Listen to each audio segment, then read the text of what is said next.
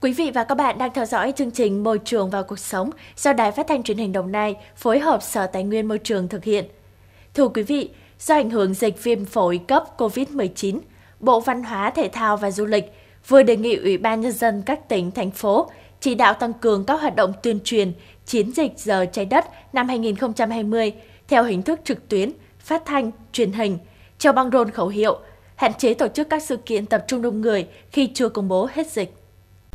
Theo đó, tập trung tuyên truyền, vận động các tổ chức, cá nhân nâng cao ý thức sử dụng tiết kiệm năng lượng, tăng cường sử dụng năng lượng tái tạo, hạn chế sử dụng sản phẩm nhựa và túi ni lông, không sử dụng các sản phẩm có nguồn gốc động vật hoang dã và các hoạt động thiết thực khác để góp phần bảo vệ môi trường, ứng phó với biến đổi khí hậu.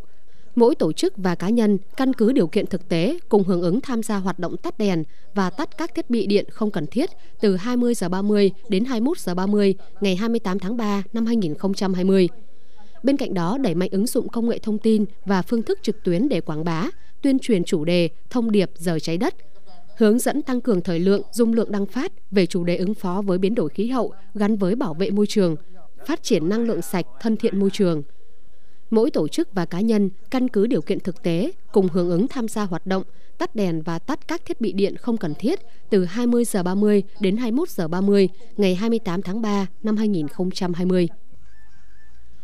Thưa quý vị, hôm nay ngày 23 tháng 3, ngày khí tượng thế giới, cách đây đúng 70 năm, Công ước thành lập Tổ chức Khí tượng Thế giới chính thức có hiệu lực. Để ghi nhớ sự kiện này, Ngày Khí tượng Thế giới đã được tổ chức nhằm tôn vinh những đóng góp to lớn của cơ quan khí tượng thủy văn trong công tác bảo vệ tính mạng và tài sản của con người.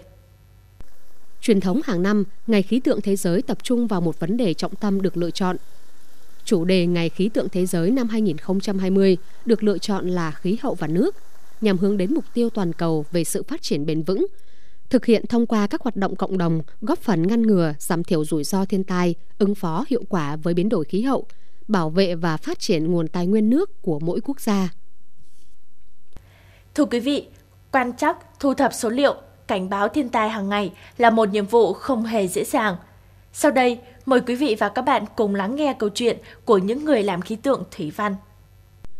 Quan trắc từng ngọn gió, đo từng cơn mưa đến lưu lượng mực nước, phân tích diễn biến thời tiết – những người làm khí tượng thủy văn không chỉ cần chuyên môn cao mà còn cần cả tinh thần trách nhiệm, sự hy sinh.